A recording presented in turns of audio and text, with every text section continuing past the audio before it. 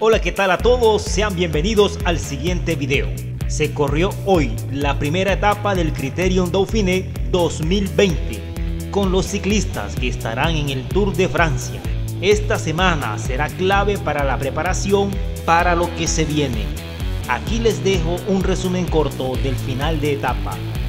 El primero en formar el desorden en el pelotón de los favoritos fue Rigoberto Urán, que saltó del grupo principal y por detrás fue el mismo Primoz Roglic, el primero en llegar. Y le siguieron otros corredores destacados como Alejandro Valverde y Tom Dumoulin.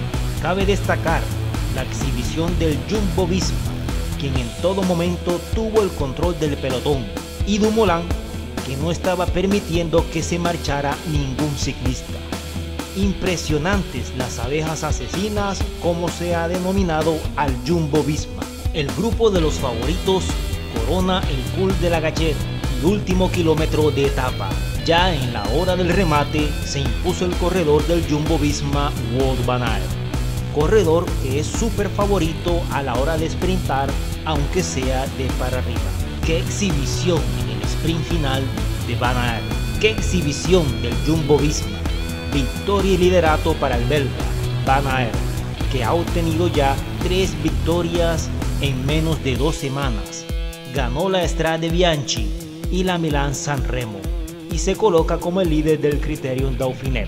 Darly Limpi fue segundo y Egan Bernal entró en la tercera posición, por lo que consigue 4 segundos de bonificación.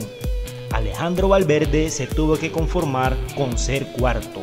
Y en cuanto a Froome, llega a la meta con mucha calma, perdiendo varios minutos, guardando energías para ayudar a Bernal en la alta montaña y en esta ocasión les daré mis tres favoritos para ganar el Criterium Dauphiné 2020.